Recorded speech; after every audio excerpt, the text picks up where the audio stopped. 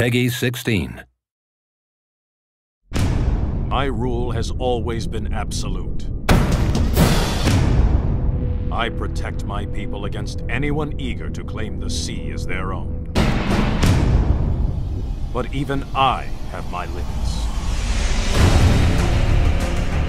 After years of living on the brink of war, I've decided to yield to the regime.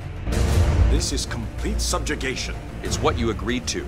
It's what we expect. It's a trap. Of course it is.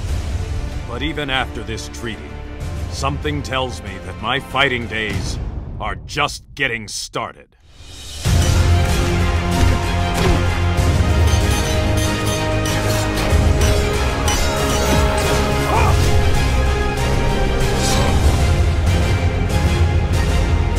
I'm the King of Atlantis. I answer to no one.